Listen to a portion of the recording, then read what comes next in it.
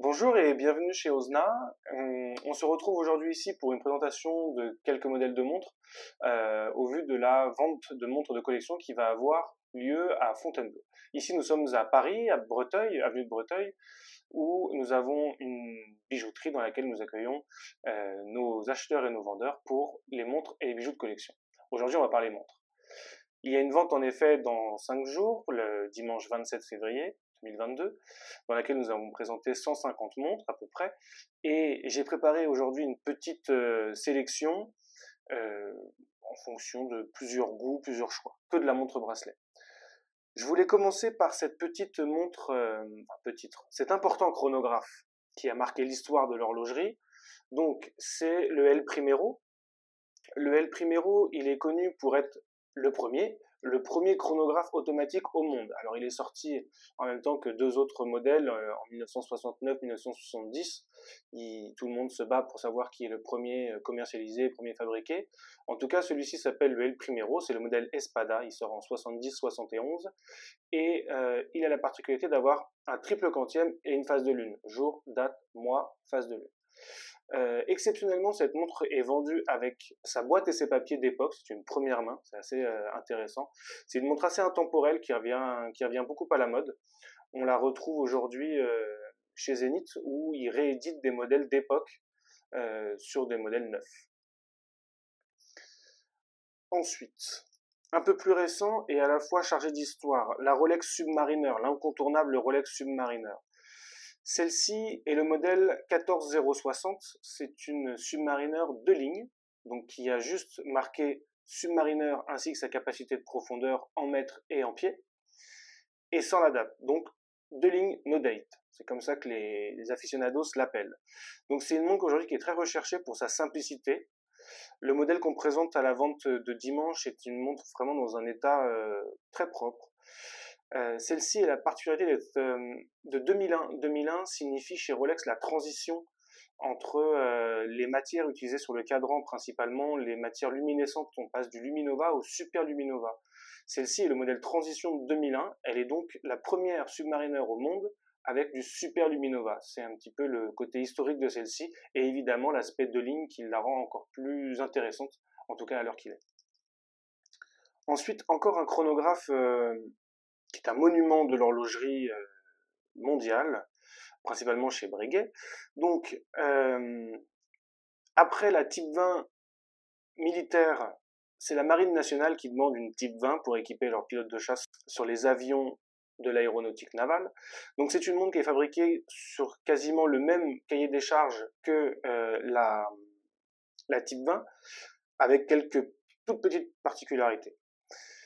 Celle-ci à cause, parce que c'est un défaut, à cause du temps, à cause de l'oxydation, à cause des UV, euh, cette montre a pris une patine dite chocolat ou tropicale, qui est une patine naturelle. À la base, c'était une montre qui était avec un cadran noir. Et l'altération du temps a fait que cette euh, montre, ce cadran, a tourné au chocolat. On explique rarement et difficilement ce, ce, ce phénomène. Et c'est toujours assez euh, incroyable d'en avoir une entre les mains, surtout quand on tient entre ses mains un monument de l'horlogerie, qui est la, la Type 20, aéronautique navale. Ensuite, euh, pour finir cette euh, présentation, je ne vais pas parler de montre, mais je vais parler d'un homme qui est Gerald Genta. Gerald Genta est, je crois qu'on peut le dire, le plus grand designer au monde de l'histoire horlogère. Il a d'abord beaucoup travaillé avec Omega, où il sort notamment la Paipan de chez Omega, qui est une petite montre de ville avec un, qui, est certifiée chronomètre. Elle a la particularité d'avoir un, boîtier extrêmement biseauté, extrêmement chanfreiné, avec des pans coupés, des, arêtes nettes et franches, et ce cadran qui lui a donné ce nom de Paipan, avec ses pans à chaque fois, à chaque indication d'index, vous avez un pan qui est vraiment caractéristique de cette montre. Et ça, c'est design par Gerald Genta.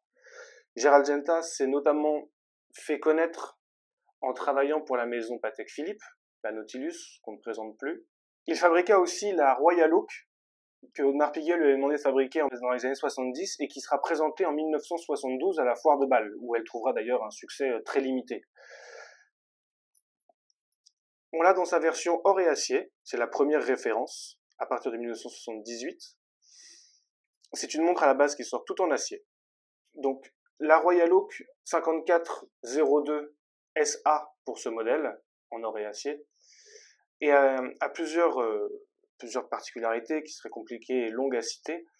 On reconnaît évidemment cette lunette octogonale, le logo AP, ce bracelet assez typique qui fait aussi penser bien sûr à la Nautilus, qui épousera les lignes du poignet parfaitement.